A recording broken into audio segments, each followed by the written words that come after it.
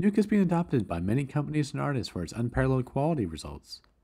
By working with its industry leading color management, linear processing, and floating point accuracy, you get superior results faster. Since you're not fighting with the software, you can focus your efforts on growing as a compositing artist and delivering results that make you stand out. Nuke's color management system is the key to its quality results.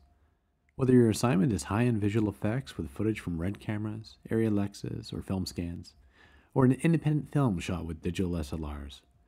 Nuke automatically converts all footage to a linear color space. CGI renders are handled with the same ease for visual effects or animation projects. No matter what work you want to do, Nuke will make sure that your creative choices are not held back by technical limitations. Nuke makes quality color workflow easy.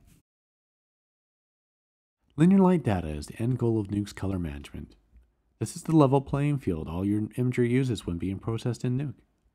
In addition to creating higher quality results, working in linear also means that you get to learn one way to color correct, key, mask, or layer footage.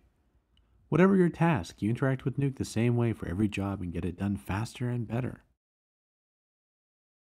Nuke's floating point architecture means you have a lot less to worry about.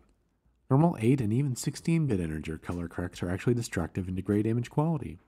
Do you see banding in your gradients? Try working with Nuke and Floating Point. Watch those problems disappear. Worried about past experience with Float being slow? Nuke is built from the ground up to work in Float, and it won't penalize your efficiency or make it hard to set up.